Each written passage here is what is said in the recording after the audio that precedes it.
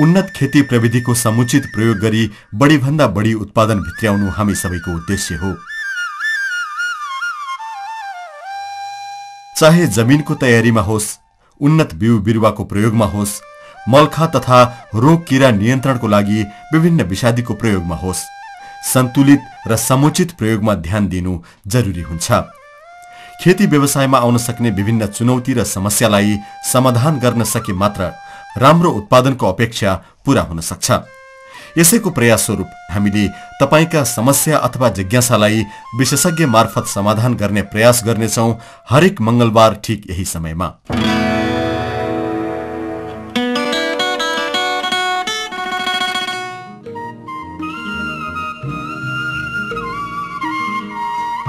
कृषि उत्पादनको प्रमुख आधारहरूमध्ये बिउ अथवा बेर्ना प्रमुख स्रोत हुन्। सफल कृषि व्यवसायको लागि बालीको छनौटदेखि जमिनको उपयुक्तता लगायत अन्य समयानुकूल व्यवस्थापनको साथसाथै बिउ अथवा बेर्नाको छनौटमा सजगता अपनाउनु पनि उत्तिकै आवश्यक हुन्छ। अझ फलफुल बगैँचा स्थापना गर्दा राम्रो बेर्नाको छनौटमा ध्यान पुर्याउनु झनै जरुरी हुन्छ। किनभने फलफुल बगैँचा स्थापना गरेपछि त्यसबाट वर्षौं वर्षसम्म उत्पादन लिइरहनु पर्ने हुन्छ। यदि बिरुवाको छनौटमा ध्यान पुर्याएनौ भने हाम्रो अपेक्षा पूरा नहुन सक्छ। यही कुरालाई ध्यानमा राख्दै गत हप्ता हामीले असल बेर्ना उत्पादन गर्ने सोचका साथ फलफुलको नर्सरी स्थापना गर्न चाहने एकजना कृषकको जिज्ञासा विज्ञ मार्फत पूरा गर्ने प्रयास गरेका थियौं। आज हामी सोही जिज्ञासाको बाँकी भाग प्रस्तुत गर्दैछौ।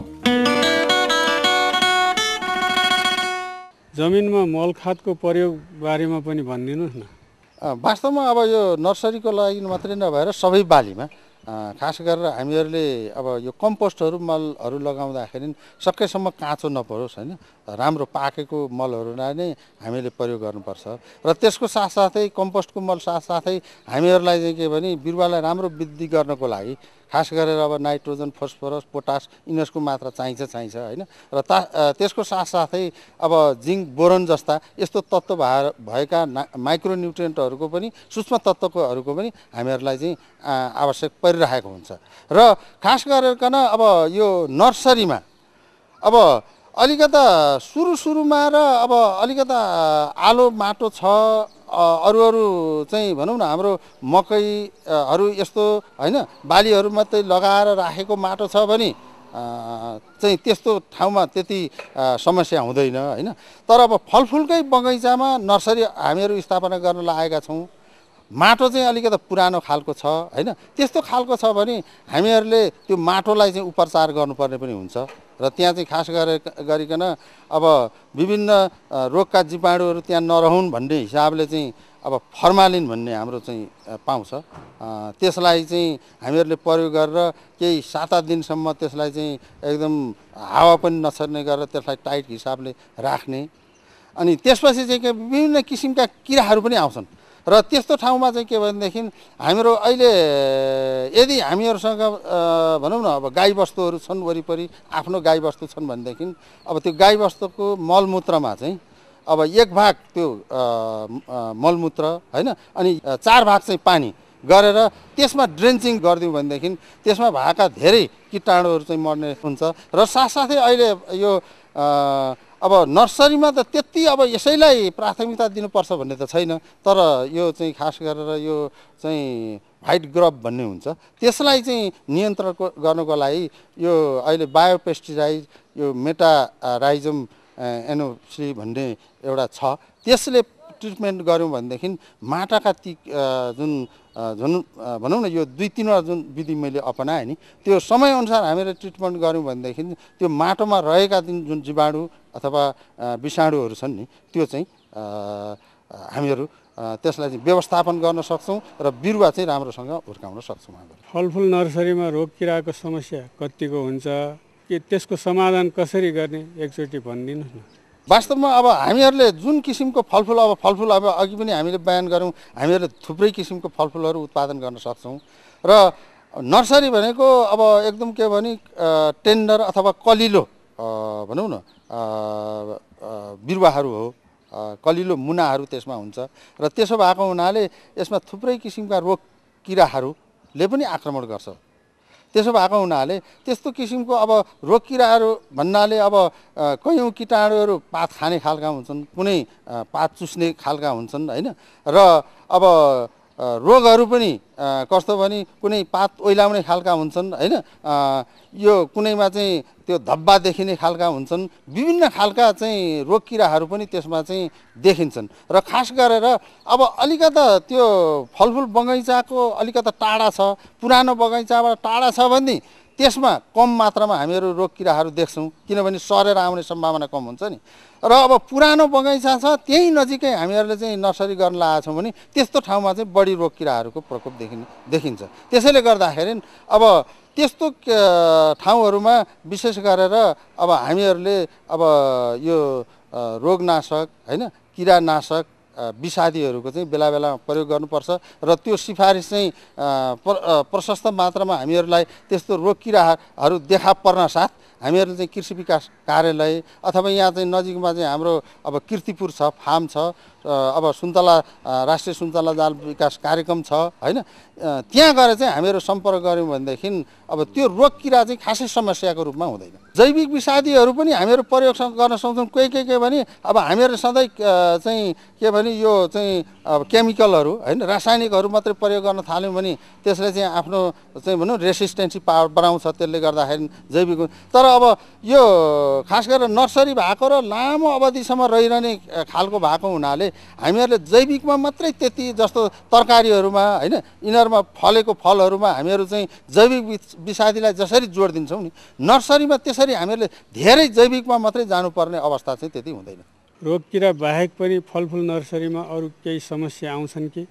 अब रोग किराहरूदेखि बाहेक चाहिँ अब नर्सरीहरू हामीहरूले राखिसकेपछि त्यहाँ चाहिँ प्रथम कुरा त हामीहरूले अब त्यो कलमी गरेको ठाउँमा त्यसलाई चाहिँ के भने चोर हाँगा अथवा चाहिँ सकर्स भनेर भन्छौँ हामी अङ्ग्रेजीमा भन्दाखेरि होइन? अब त्यस्तो किसिमको हाँगा आइदियो भने के हुन्छ भनेदेखि त्यो तल्लो भागकोबाट आएको हाँगा चाहिँ बढ्यो भने माथि हामीले जोडेको ठाउँको त्यो चाहिँ कमजोर हुन जान्छ। र पछि गएर जुन जुन चाहिने हो त्यो चाहिँ मर्ने हुन्छ र तलको मात्रै जाने हुन्छ। त्यसैले गर्दाखेरि त्यस्ता किसिमका चोर हाँगाहरूलाई हामीहरूले हटाउनु पर्यो होइन? अब त्यसै गरिकन अब जस्तो के भनेदेखि विभिन्न किसिमका झारपातहरू होइन? अब नर्सरी भनेपछि सानो बिरुवाबाट हामीहरू सुरु गर्छौँ। कति त अब बिजु पनि हामीहरू उत्पादन गरिरहेका हुन्छौँ होइन? त्यस्तो ठाउँमा झारपातहरूले पनि त्यत्तिकै मतलब नोक्सान गरे हुन्छ। त्यसलाई भनौँ न एकअर्कामा प्रतिस्पर्धा भइरहेको हुन्छ। त्यसैले हामीहरूले कम्तीमा पनि पन्ध्र बिस दिनमा अब त्यसलाई चाहिँ गोडमेलहरू गरिरहनु पर्ने हुन्छ। र त्यसपछि चाहिँ के भने सबैभन्दा ठुलो कुरा त अब सिँचाइको कुरा आउँछ। हामीहरूले अब बिरुवाहरूलाई चाहिँ के भनेदेखि अब कति ठाउँमा त हामीहरूले त अब त्यो छहारीमा पनि राखेका हुन्छौँ परेको पानी पनि त्यसमा पर्न सक्छ। होइन? त्यसले गर्दाखेरि चाहिँ बेला बेलामा हामीहरूले त्यो चाहिँ के भने सिँचाइको प्रबन्ध चाहिँ गरिरहनु पर्ने हुन्छ। होइन? र यो हिसाबले गऱ्यौँ भनेदेखि हामीहरू नर्सरीमा अवश्य सफल हुन्छ जस्तो लाग्छ मलाई। कैयौँ बालीहरू यस्ता हुन्छन् जो चाहिँ के भने अब बिजु बिरुवा उत्पादन गर्न पनि सकिँदैन कलमै नै गर्नुपर्ने पनि हुन्छ होइन? र मुख्य अब यो कलमी बिरुवा उत्पादन गर्ने र बिजु बिरुवा उत्पादन गर्नेमा के छ भने कलमी बिरुवामा माउबोट जस्तो छ हामीहरूले कलमी गरेपछि त्यस्तै बिरुवा उत्पादन हुने हुनाले अब कलमी बिरुवाबाट चाहिँ हामीले पनि जस्ता तस्तै माउ जस्तो छ त्यस्तै हामीहरूले फल पाउने भयौँ त्यसले पनि हामीले गर्ने भयौँ होइन? र कैयौँ बालीहरू यस्ता पनि छन् जो चाहिँ के हुन्छ भनेदेखि अब यो चाहिँ रुटिस्टक सरी यो चाहिँ के भने बिउबाट उत्पादन गर्दाखेरि कैयौँ रोगहरू चाहिँ के भने त्यसमा देखा नपर्ने पनि हुन्छ कि? अब जस्तो सुन्तलाकै भनौँ न। सुन्तलाको चाहिँ हामीहरू भन्छौँ नि यो रास रोग होइन? अब त्यसमा चाहिँ अब रास रोगमध्ये एउटा रोक्नको लागि चाहिँ न्युसेलर बेर्ना जो चाहिँ के भनेदेखि बिउबाट उत्पादन हुन्छ होइन? त्यो उत्पादन गऱ्यो भनेदेखि अब त्यो रोगबाट हामीहरू चाहिँ बच्न पनि सक्छौँ। अब अलैँचीकै भनौँ एक किसिम यो नर्सरीकै कुरा हुनाले मैले अलैँचीको पनि कुरा गरौँ। जस्तो के भने अब त्यो जुन चाहिँ हामीहरू चाहिँ अलैँचीको गाँच फुटाएर लाउँछौँ नि त्यसको साटो बिउबाट उत्पादन गरेको गरेर लगाएको बिउ लगायौँ भनेदेखि त्यो छिर्के फुर्के रोगको जीवाणुहरू चाहिँ त्यो बिउबाट गएको उसमा चाहिँ पछि सर्ने अलग कुरा हो तर त्यसमा चाहिँ केही पनि प्रवेश गर्न सक्दैन। त्यसैले गर्दाखेरि यसको आफ्ना आफ्नै फाइदा छन्। कैयौँ बालीहरूलाई हामीले बिउबाटै उत्पादन गर्नुपर्ने हुन्छ भने कैयौँलाई हामीहरूले चाहिँ अब त्यो कलमी विधिबाटै गर्नुपर्ने हुन्छ। र कलमी विधिबाट गरेको चाहिँ सबैभन्दा हामीहरूलाई फाइदा भनेको के भनेदेखि माउ जस्तो छ त्यस्तै हामीहरू निकाल्न सक्छौँ। फलफुल नर्सरीबाट सफलता प्राप्त गर्न व्यवस्थापनमा ध्यान दिनुपर्ने मुख्य मुख्य कुराहरू के के हुन्? एकपटक भनिदिनुहोस् न। म यसमा यहाँ यहाँलाई के भन्न चाहन्छु भने पहिलो कुरा त के भने अब यो व्यवस्थापनको कुरा चाहिँ सुरुदेखि नै हुन्छ। मैले भनिहालेँ यो जमिनको चाहिँ मोहडादेखि लिएर त्यसको माटोको प्रकार कस्तो छ होइन? अनि सिँचाइको व्यवस्था कस्तो छ? र त्यसपछि चाहिँ के भने अब हामीहरूले यसमा अर्को पनि म एउटा सानो कुरा थपिहालौँ। अब जस्तो के भने हामीहरूले चाहिँ खुला वातावरणमा मात्रै नभएर अहिले चाहिँ के भनेदेखि अब यो स्क्रिन हाउस है? त्यसमा पनि हामीहरूले उत्पादन गर्न सक्छौँ। जसले गर्दाखेरि भने बाहिरको रोग किराहरू त्यसमा प्रवेश गर्न नसकोस्। र त्यस्तो किसिमको स्क्रिन हाउस बनाउनको लागि अहिले विभिन्न सङ्घ संस्थालेहरूले पनि अब चाहिँ त्यसमा लगानी गरेको राखेको छ। त्यति मात्रै नभएर अहिले चाहिँ यो बर्ड वुड सर्टिफिकेसन भन्ने प्रोग्राम चाहिँ सरकारले पनि लिएको छ होइन?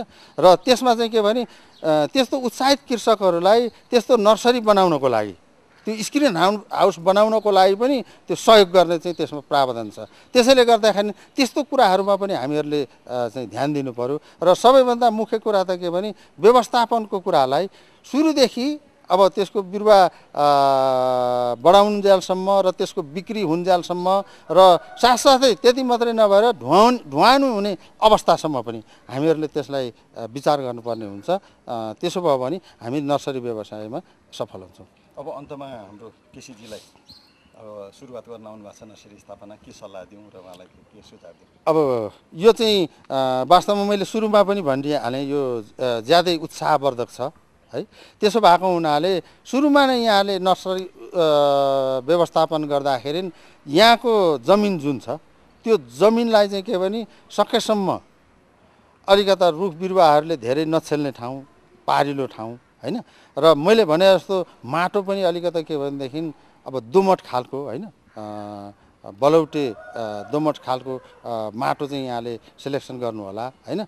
र त्यसपछि के भनेदेखि अब यो चाहिँ के भने जिल्लासँग आबद्ध भएको कार्यक्रम भए हुनाले सबभन्दा पहिले त के भने जिल्ला कृषि विकास कार्य ललितपुरसँग यहाँले सम्पर्क राख्नु त्यहाँको चाहिँ के भने अब हाम्रो सेवा केन्द्रसँग पनि सम्पर्क राखेर काम गरौँ। र साथसाथै यहाँ यो अर्थमा भाग्यमानी हुनुहुन्छ किनभने यहाँ ललितपुरमा यहाँले चाहिँ भनौँ नर्सरी स्थापना गर्न लाग्नु भएको छ। किर्तिपुर नजिक छ होइन? गोदाबारी नजिक छ र त्यसो भएका हुनाले त्यो स्रोत केन्द्रहरूमा पनि एउटा सम्पर्क राखेर त्यहाँबाट चाहिँ के भने राम्रो राम्रो खालको माउबोटहरू ल्याएर पनि यहाँले राख्नुपर्ने हुन्छ। र अब अहिले चाहिँ हामीहरू पुरानो हिसाबले मात्रै नर्सरी नगरेर यहाँले त अब नयाँ स्थापना गर्दै हुनुहुन्छ भने मैले अघि ज भने जस्तो यो चाहिँ के भने प्लास्टिक हाउस होइन? अब स्क्रिन हाउस यस्तो किसिमको बनायो भने के हुन्छ भने बाहिरको रोग किराहरूले आक्रमण गर्ने पनि कम सम्भावना हुन्छ। र त्यस्तो ठाउँमा चाहिँ के हुन्छ त भन्दाखेरि अब बिरुवाहरू पनि छिटो बढ्छ।